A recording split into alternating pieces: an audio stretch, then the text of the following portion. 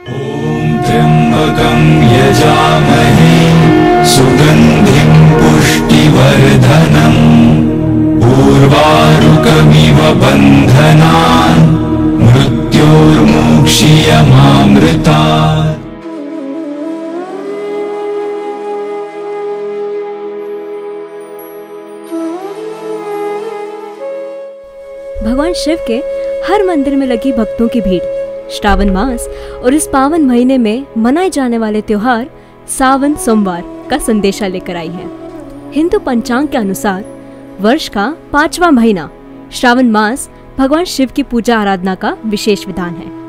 पौराणिक कथाओं के अनुसार चूँकि भगवान विष्णु योग निद्रा में रहते हैं, इसकी वजह से भगवान शिव ही पालन करता होते हैं। यानी सावन के महीनों में त्रिदेवों की सारी शक्तियाँ भगवान शिव के पास होती है। और इसलिए जो भी भक्त शिव जी की आराधना तह दिल से करता है, उनकी सारी मनोकामनाएँ पूर्ण होती है। यह महीना भक्तों के लिए भोलेनाथ को प्रसन्न करने के लिए काफ़ी महत्वपूर्ण तो होता ही है, लेकिन इस महीने के सावन सोमवार की अपनी ही विशेषता है। इस महीने के सारे सोमवार पे रखे गए व्रत काफ़ी लाभदायक माने जाते हैं, क्योंकि सोमवार का दिन चंद्र ग्रह का होता है और चंद्रमा के नियंत्रक होते हैं भगवान शिव। इतना ही नहीं, इस महीने के पहले सावन सोमवार से शुरू हो जाता है सोलह सोमवार व्रत, जो रखती है अविवाहित महिलाएँ अच्छे वर की उम्मीद में। लेकिन यहाँ मन में प्रश्न उठता है कि क्यों श्रावण मास को कहा जाता है शिव जी का प्रिय? कथाओं के अनुसार देवी सती जब पुनर्जन्म लेकर देवी पार्वती के रूप में आई, तब उन्होंने शिव जी को प्रसन्न करने के लिए कठोर तप किया। जिसके परिणाम स्वरूप सावन के महीने में शिव जी और पार्वती माँ का विवाह हुआ। और इसलिए इस महीने के सारे मंगलवार को माँ पार्वती की पूजा अर्चना भी की जाती है और रखा जाता है मंगल गौरी व्रत। सावन सोमवार की विधि के बारे में हम जानेंगे पंडित जी से। सावन मास एक ऐसा मास होता है, जो अपने आप में बहुत अद्भुत होता है। व्यक्ति विशेष आनंद आता ही, जब सावन आता है व्यक्ति विशेष को आनंद आता ही है तो प्रकृति भी अपना रूप बदल लेती है।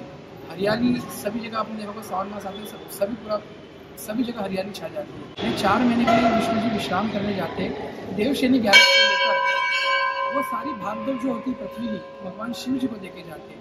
तो सावन मास की अगर आप पूजा करना करना चाहते हैं तो पूरे महीने भर तक आप सावन मास की पूजा कर सकते हैं। इसमें पार्थिव शिवलिंग का पूजन का बहुत महत्व होता है, क्योंकि सावन मास में माँ पार्वती जी ने शिव से विवाह करने के लिए पार्थिव शिवलिंग का निर्माण किया गया था। कि जहाँ पार्थिव पूजन होता है, वहाँ शिव जी का वास सदैव बना रहता है। और पार्थिव पूजन का विधान भी है अगर आप एक शिवलिंग का पूजन करते हैं तो उसके एक शिवलिंग का महत्व इतना होता है कि अगर आप एक शिवलिंग का पूजन बना के पूजन करते हैं तो आपको करोड़ों यज्ञ करने का फल प्राप्त होता है। जो भी भक्तिगण सावन मास में भगवान भोलेनाथ की पूजा करना चाहता है। अगर प्रतिदिन एक मिट्टी का शिवलिंग एक, ग्यारह, इक्कीस या इक्यावन अगर वो बनाना चाहता है, प्रतिदिन अगर शिवलिंग निर्माण करे और बना के पूजा करे तो शाम को विसर्जन करते हैं शिव का विशेष कृपा का पात्र बनता है। जब ऐसे शिव जी का विशेष पूजन होता है षोडोपचार विधि बोलते हैं हम जिसको शास्त्रों में। इससे दूध, दही, घी, शक्कर, शहद पंचावत गंधोदक, इत्र और भाँग, और गन्ने के रस से हम लोग प्रतिदिन यहाँ पर हैं। हो सकते हैं अगर आप आपके पास समय नहीं है अगर आप छोटा पूजन करना चाहते हैं कि हम महीने भर पूजन करें भगवान शिव जी का और छोटे समय में हमको अधिक फल की प्राप्ति हो जाए तो आप प्रतिदिन भगवान को गंगा जल या दूध चढ़ा के और बिलपत्र ऐसा कहा गया बिलपत्र भगवान चढ़ाने से बहुत प्रसन्न होते हैं कि बिलपत्र के अंदर तीन देवों का वास होता है। इसमें तीन पत्तियाँ होती हैं, एक में ब्रह्मा जी, एक में विष्णु जी और एक महेश। ये तीनों बिलपत्र में वास करते हैं। कि भगवान भोलेनाथ सिर्फ़ भाव के भूखे श्रावण के महीने में शिवलिंग पर जल अर्पण करना तथा उनका अभिषेक करना शिव आराधना में महत्वपूर्ण स्थान रखते हैं। और यह मान्यता आती है दो घटनाक्रमों से। कहा जाता है, सावन मास में ब्रह्मांड को बचाने हेतु समुद्र मंथन से निकले विष को शिव जी ने ग्रहण तो किया था, लेकिन विष ग्रहण करने के बाद शिव जी के शरीर का तापमान अदम्य तरीके से बढ़ता चला गया। उस बढ़ते तापमान को रोकने हेतु किया था देवताओं ने जल अर्पण। वही यह भी माना जाता है कि इसी महीने शिव जी धरती पर पधारे थे, अपने ससुराल का विचरण करने, जहाँ उनका अभिषेक किया गया था। अपने भोलेनाथ को प्रसन्न करने के लिए भक्तगण भी काफ़ी अनूठे व निराले कार्य करते हैं, और उनमें से एक है कावड़ यात्रा।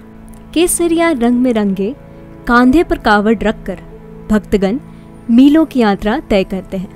कावड़ के जल से भगवान शिव का अभिषेक करने के लिए। पौराणिक कथाओं के अनुसार पुरा महादेव को प्रसन्न करने के लिए भगवान परशुराम ने शुरू की थी कावड़ यात्रा, जहाँ उन्होंने गढ़मुक्तेश्वर से गंगा जल लेकर किया था जलाभिषेक। आज के लिए बस इतना ही। हम मिलते हैं आपको अगली धरोहर में।